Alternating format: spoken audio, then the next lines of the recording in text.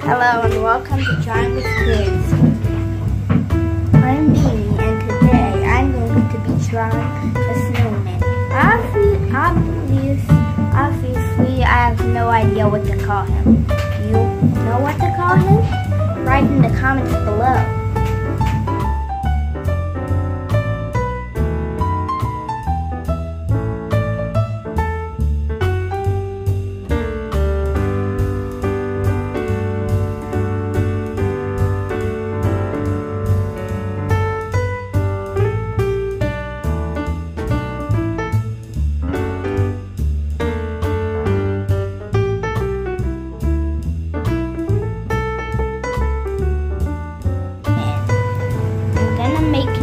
today.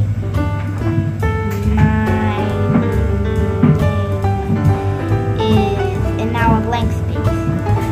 In, in the comments below, you can choose what he, what his name can be, and and, and what set it is.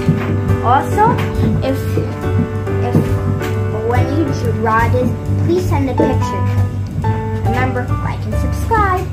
Goodbye.